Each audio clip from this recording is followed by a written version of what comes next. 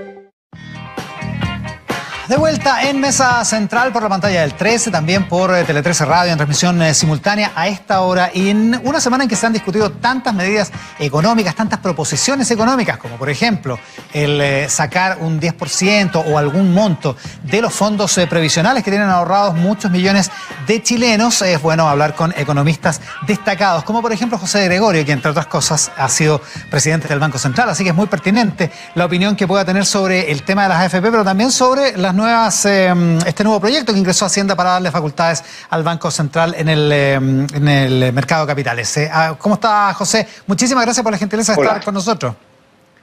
Hola, ¿cómo está? Y muchas gracias por lo de destacado. Economista. no, por favor, oiga, se lo ganó usted. Eh, tengo que presentarlo además como decano de la Facultad de Economía y Negocios de la Universidad de Chile, porque si no se enoja. Oiga, me sorprendió usted en la radio el otro día porque em, estábamos hablando de esto y yo pensé que me iba a decir que por ningún motivo se podía sacar plata a la FP y usted me dijo, usted estaba abierto a esa, a esa posibilidad, con condiciones, pero estaba abierto. Lo que pasa que a mí lo que me llama la atención es que en Chile parece que la discusión la dominan dos grupos de, de extremos. Un grupo que no quiere cambiar nada. Y todos dicen no hay que cambiar nada porque es abrir la puerta. Y abrimos un poquito la puerta y se nos va a caer todo sin darse cuenta que le están haciendo pedazo a la puerta de atrás. Eso es lo que yo les llamo, eso es lo que, le, lo, que les llamo los que creen en el capitalismo protegido. No creen en el capitalismo, creen en el capitalismo protegido. Pero después están los que quieren cambiarlo todo, que les da lo mismo lo que, lo que proponen, ¿no es cierto? Los retroexcavadores, podríamos decir. Pero yo creo que uno puede tener una discusión, como diría, ¿no es cierto?, Blue Robinson en el pasillo del medio, una, una discusión razonable, eh, bien fundamentada. Y para eso quiero primero déjame decirte dos cosas que yo creo sí que no hay que confundir. A ver. La primera, lo, que ha pasado en Perú con el retiro de fondos. Primero que la gente cuando sale, jubila, puede llevarse toda la plata para la casa, o que ahora están retirando hasta el 25%, eso es muy malo para las pensiones. Va a haber muy malas pensiones en Perú producto de esas políticas. Y el sistema de pensiones es un sistema obligatorio que a ti te obligan a ahorrar para la vejez, para que tengas durante toda tu vejez cierto nivel de ingreso y en Chile estamos en una discusión muy profunda porque las pensiones son muy bajas. Por lo tanto, lo que pasó en Antofagasta, que un juez determinó que por alguna razón económica una persona puede retirar todo su fondo de la AFP, es muy mala política pública. Primero, que la haga el juez, ¿no es cierto? Y segundo lugar, que permita que todo lo que se ahorra, porque aquí hay que tener cuidado, no es un, no es, es un tema libertad restringida. A ti te obligan a cotizar. ¿Para qué? Para tener un ingreso estable cuando jubilas. Por lo tanto, pensar de que esto es como un ahorro voluntario, que uno llega a lo hacer, no es así. Y por eso uno no puede licuar los fondos. En segundo lugar, la idea que yo he visto salir del Congreso me parece mala. Me parece realmente que es una cosa que yo diría no, no es, es no, no, tiene fundamento. Dice, mire, la gente puede sacar el 10% de los fondos y con esos fondos se los paga el gobierno a través de un bono de, reconocimiento. De, reconocimiento, que en el fondo dice, yo te paso la plata, te la paso en cuota, da lo mismo. Pero dice, entonces, en primer lugar, es comerse, se podría terminar comiendo los 12 mil millones de todo este plan que discutimos durante mucho tiempo, porque es plata pública. Segundo lugar, es súper injusto porque le dice, a los que tienen más les voy a devolver más que a los que tienen menos. Fiscalmente no debería ir dentro de los 12.000 si alguien lo quiere hacer la propuesta en serio, pero además una política súper, súper mal focalizada, mal hecha. Lo que yo, perdón, creo... Eh, José, porque ese bono de reconocimiento hay que contarlo, digamos, que hay que hacer la contabilidad de ese bono. Es plata de hoy. Es plata de hoy, es deuda, es deuda pública. O sea, podemos decir no lo pagó en, no lo pagó con caja, pero lo va a pagar con deuda. En algún Exactamente lo mismo. Y además una deuda y con una tasa de interés. O sea, por lo tanto, pero lo que sí yo quiero destacar, y creo que es bien importante, hay un grupo de gente que no tiene ingreso familiar de emergencia, que no tiene ley de protección de empleo, que no tiene seguro de desempleo. Esto es una cosa un poquito, porque si a ti te echaron y tú cotizabas en la AFP, tienes seguro de desempleo. Esto es probablemente gente que dejó en algún momento de cotizar y que en estos momentos, pero que en algún momento acumuló en su fondo de pensiones. Esto probablemente es mucho más dirigido a la clase media, ¿no es cierto? Porque la gente de los eh, eh, de menor ingreso está recibiendo el ingreso y es de esperar que se mueva este, el ingreso familiar de emergencia. Lo mismo ocurre con la ley de protección de empleo, con el, el seguro de desempleo que tienen las personas. Por lo tanto, estamos pensando aquí, primero, que gente que no ha recibido nada. Segundo, que tiene plata en su fondo.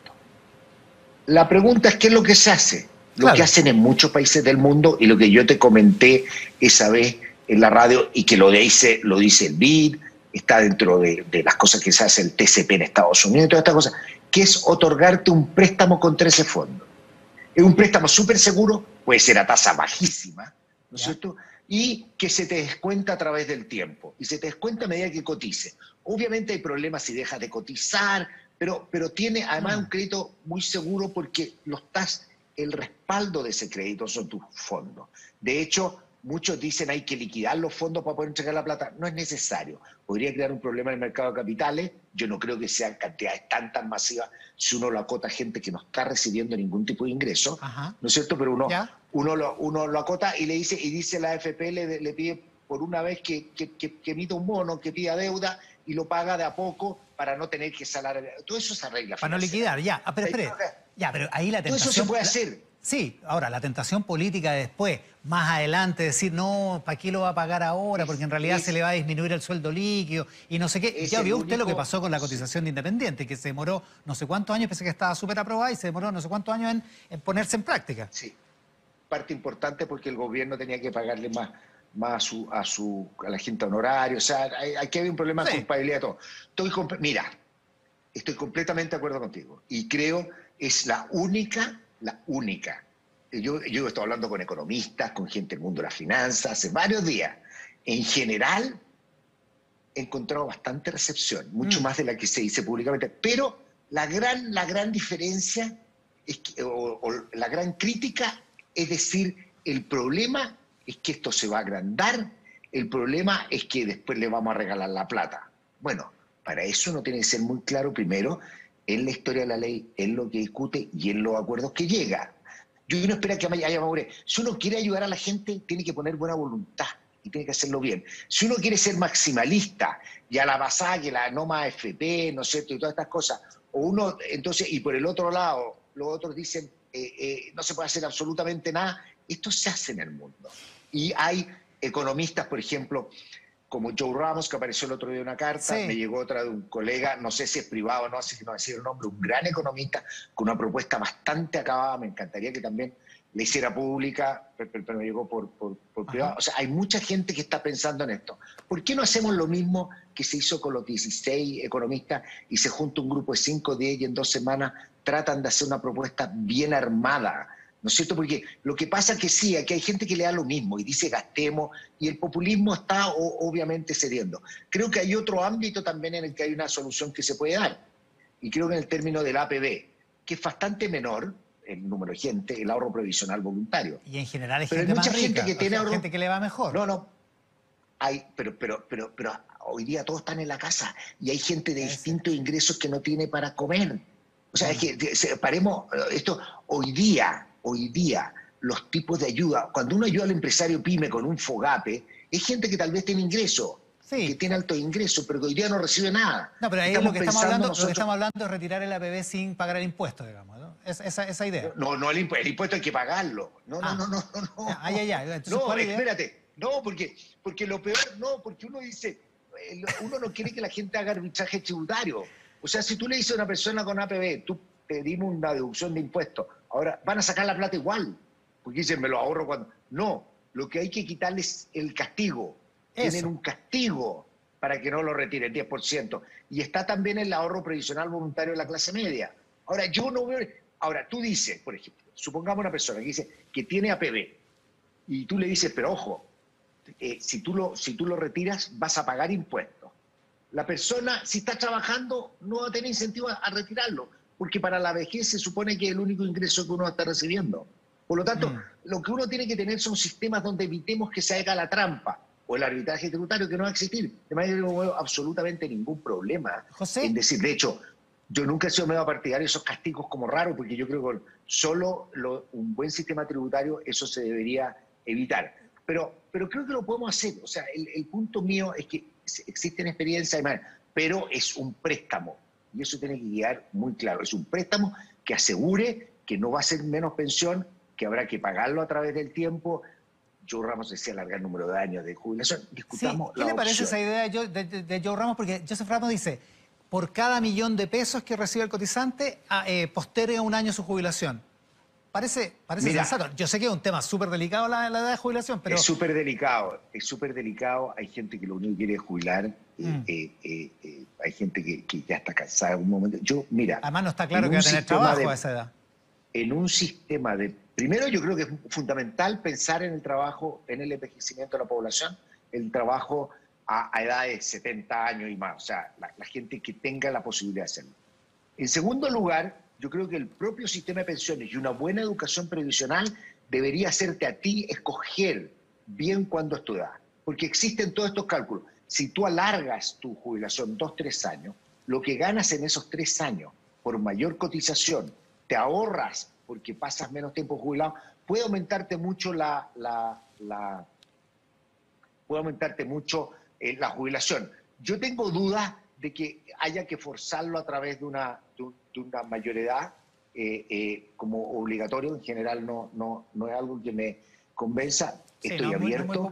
me parece que lo que uno puede hacer, lo que, mira, las cosas, por ejemplo, decir, a la persona se le va a dar, primero, no se le va a permitir sacar un monto grande de una, se le va a meter sacar mientras dure la crisis mensualmente una cuota. ¿Ya? Con lo cual tú, tú vas haciendo una cosa paralela a lo que tiene el ingreso de emergencia una cuota que algo tenga que ver con tus ingresos pasados y que alguna demostración hay de que no estás recibiendo ingresos o, alguna cosa así.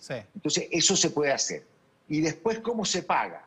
Tú te aseguras, puedes asegurar que los montos no sean inferiores, y eso es lo que algunos economistas proponen, no sean inferiores, perdón, no sean superiores a un 10% de tu ingreso en los próximos tres años. Tú, en el fondo, lo que no quieres es que la gente esté sobreendeudada por hacer mm. esto. Hay muchas maneras de hacerlo. Hay que hacerlo con voluntad y con seriedad. Usted, aparte de haber sido presidente del Banco Central, fue ministro. Entonces, a, mí me gustaría saber qué hubiera opinado usted en esta, en esa situación, eh, estando en el gobierno, porque yo creo que esto a Ignacio Briones le debe parecer horrible, porque él ya, de hecho, el gobierno se niega de plano, digamos, a, la discusión sobre retirar los fondos provisionales. ¿Qué, ¿Cómo cree que le cae? Yo, es que yo entiendo, yo entiendo, y yo creo que es una discusión seria, yo entiendo que ellos se opongan al retirar los fondos y que los pague el Estado. Primero es un hoyo fiscal. O la otra, como se hace en Perú, retirar los fondos a contra de nada. No, lo que tiene que haber es un crédito, un mm. crédito social. Así le llamaba este amigo me mandó su propuesta, un crédito social. Eso es lo que hay que hacer. Hay que un crédito social para gente que no está recibiendo ningún tipo de ayuda y que tiene suficiente en su fondo de pensiones. Ahí hay que hacerle el temor que hay y, porque básicamente lo que hay aquí es temor. Y es temor, ¿por qué? Porque la actividad política y la política pública en Chile durante los últimos años se ha deteriorado. Y la manera de hacer política se ha deteriorado. Y la política pública se ha deteriorado la forma de hacerlo. Y eso es cosa de verlo en las cifras fiscales, en las cifras de crecimiento, en la, en la, misma discusión y en los problemas que se cometen cuando se hacen leyes. Por lo tanto, yo entiendo que desde el punto de vista de la autoridad haya cierta preocupación porque dicen, sí, perfecto, yo puedo llevarle un plan y decirle, mira este crédito, mira que está, está bien pensado financieramente, hacemos un acuerdo, decir, sí, pero yo voy con eso y voy a salir con algo mucho peor. ¿Por qué? Porque también hay gente, aparte de estos que yo digo extremistas del capitalismo protegido, hay gente que le interesa nada y que quiere, obviamente, cambiar completamente el sistema de pensiones, no le importa la solidez de nuestro sistema de pensiones. Y eso también es una preocupación. Ahora, yo soy una persona que cree en el diálogo, en la discusión con argumentos y con racionalidad. Por lo tanto, tengamos esa discusión. Una pregunta técnica. Pero no posterguemos las soluciones a la gente. Eh, si miramos esto como un crédito, ¿qué diferencia haría que el crédito lo diera el Banco del Estado, por ejemplo, a que el crédito saliera con fondos de las pensiones, que en el primer caso se contaría dentro de los 12 mil millones porque alguien tiene que capitalizar al Banco, o sea, el Estado tiene que capitalizar al Banco Estado para que se dé ese crédito? Muy buena, muy buena pregunta, porque además te voy a contar que discutiendo con, un amigo, muy buen economista, que no le gusta este día, me dijo, hazlo, hagamos, hagamos un crédito, me dijo. Un crédito para esta misma gente. Primero, el banco va a tener que ir a evaluar el crédito. Mm. Segundo lugar, la tasa va a ser más alta. En tercer lugar, se va a tener que llevar un pedacito porque tiene que administrarlo. No es más fácil, no es más barato para la persona un crédito completamente colateralizado en los activos que tiene, que son su plata de pensiones, y por otra parte, que el pago sea automático, como lo hacen las, las mm. cajas de compensación cuando dan crédito. Todo eso que te asegura que el crédito sea más barato y que los potenciales vacíos sean menores. Ahora, yo no tengo problema, hagamos crédito, empecemos a dar crédito con Fogape, pero eso, eso, eso sí es una caja de Pandora bastante, bastante más compleja. Esto, esto es un crédito plenamente colateralizado, o sea, donde está donde, donde la garantía está en el fondo de pensión. José. Está en el fondo de pensión y está en que la gente cotiza. Si los, que, los mejores, los que reciben mejor pago de vuelta, normalmente son las cajas de compensación y estos que prestan, porque hay descuento automático del sueldo. Oiga, nos queda un minuto. Eh, pero, pero, quiero preguntarle por el proyecto que le permitiría al Banco Central comprar bonos del gobierno en mercado secundario. Usted que fue presidente del Banco Central, ¿qué piensa de esto? Uh, quédame otros otro 15 minutos.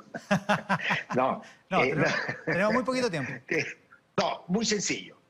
Esta es una cosa que hacen todos los países desarrollados, que es súper normal, que en Chile se prohibió por nuestra historia. Porque traíamos, y por la historia de América Latina y lo que existía, nosotros estábamos traumados porque nuestro gran problema inflacionario ha sido el financiamiento público, el, el financiamiento monetario del déficit público. Ese es un problema, es una receta para el desastre.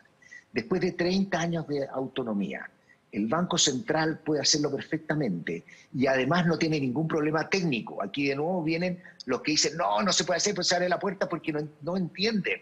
No entienden que un bono del Tesoro, que es lo que estaría comprando el Banco Central, es igual a un bono del Banco Central. Por lo tanto, cualquier operación que hace con bono del Banco Central la puede hacer con bono del Tesoro. ¿Cuál es el problema y por qué surgió este tema hoy día y no cuando yo era presidente del Banco Central? porque los bonos del Tesoro, del Banco Central, que hace un tiempo eran 20 mil millones de dólares, con lo cual puede hacer muchas operaciones, hoy día están alrededor de 2 mil. Parte por el, esfuerzo, el fuerte impulso monetario que ha dado el Banco Central.